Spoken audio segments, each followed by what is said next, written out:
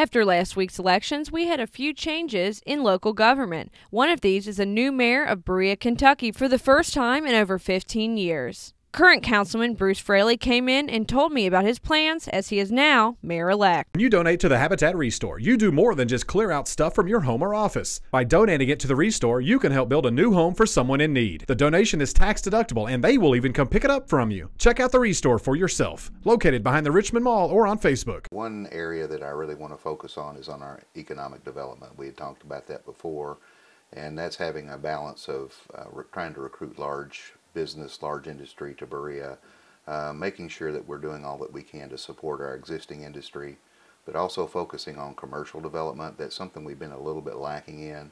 I would love to see us be able to attract retail uh, retailers uh, to Berea, um, restaurants to Berea, uh, commercial type businesses. Also support for small business. We got to make sure the small business people and the entrepreneurs are the backbone of any local economy.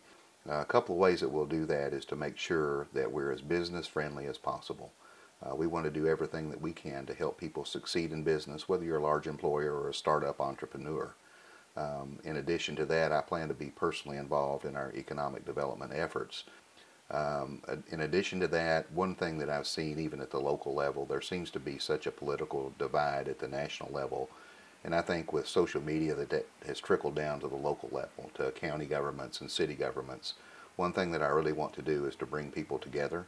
Uh, that's one of my top priorities because uh, we're, we are stronger together and we can do more if we work together than we can do if we're factionalized or working out individually. So I think anytime we can bring people together uh, on things that we do agree on, we get to know one another better, we get to cooperate better, we make friends, and we're able to resolve our differences in a positive and constructive way.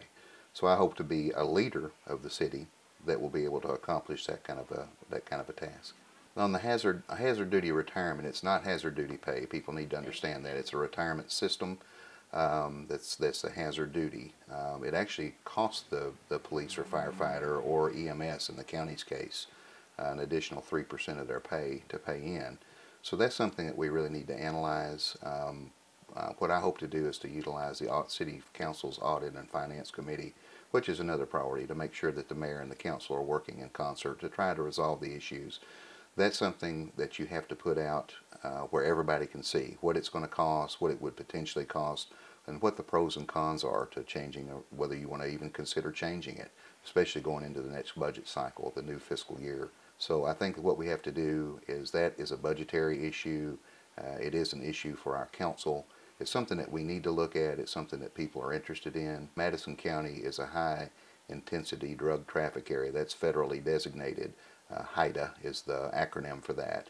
Uh, we've had activity in Berea already where actual federal funds have been used to try to help combat the drug problem. What we want to be sure is that we're a part of the uh, equation. I hope to work with Chief Gregory and um, Sheriff Mike Coyle, and uh, also with Mayor Blythe. There, there have been some success stories out of that neighborhood watch. It's the Prospect Street corridor.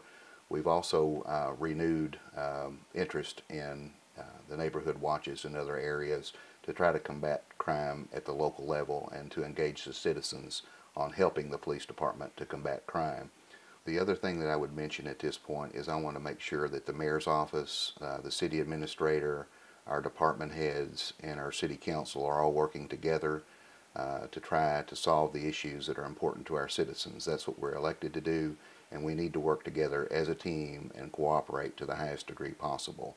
So I hope to I hope to have a, a, an open and honest communication and to set the tone for people to be able to say what's on their mind and be able to have a civil uh, civil discourse. Also, I want to thank the citizens of Berea, Kentucky for putting their trust in me. Uh, 2,400 plus people voted for me, and I won't let you down.